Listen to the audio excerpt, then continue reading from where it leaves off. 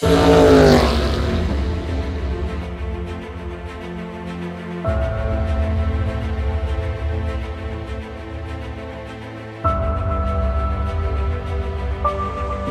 vitória de Paulo Gomes foi bastante dificultada por Raul Boesel na primeira bateria e por Afonso Giafone na segunda.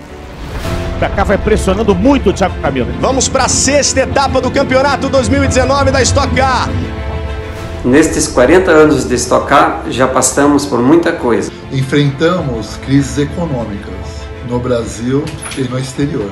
E vencemos tudo, sempre em parceria com os nossos patrocinadores. E a partir de 2020, seremos uma categoria multimarcas. Vimos a chegada da TV a cabo, da internet e das redes sociais. E reinventamos nossa relação com os fãs. Nós vimos o automobilismo se transformar. E também evoluímos para melhorar dentro e fora das pistas. A Stock Car é a maior categoria do Brasil. E nós estamos prontos para abrir mais uma volta nessa história.